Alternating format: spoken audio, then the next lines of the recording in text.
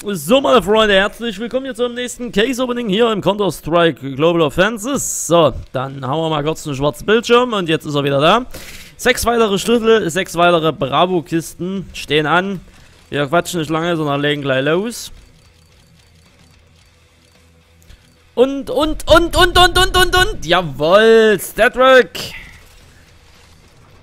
Ja, das hat was. Nice. Jetzt muss er nur noch einsatzerprobt sein.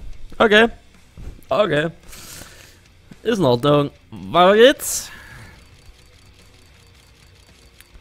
Ah, da sind wir da eine schöne. Ah, eine M4A4 circa.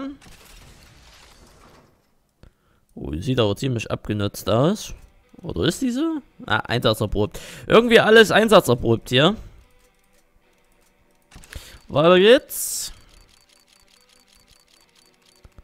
Ah, naja, noch eine Stattrick wäre schön gewesen. Gallier, ja gut. Wir können jetzt sagen, für, für Stadtkämpfe in Ordnung, weiter geht's. Ah, eine UMP, die sowieso nie jeder braucht, egal in welchem Design. Ja, gut, sieht aber halbwegs ordentlich aus. So, vorletzte Kiste.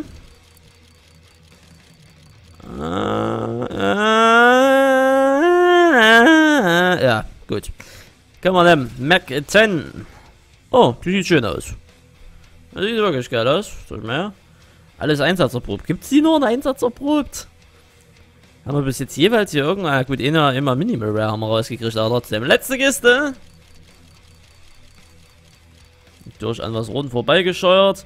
Und nochmal eine UMP. Nice. So. Ja, schade, aufwerten kann ich nicht. So viel habe ich leider nicht da, aber wir haben eine M4S Stat Rack. Und eine normale ist immerhin schon mal etwas.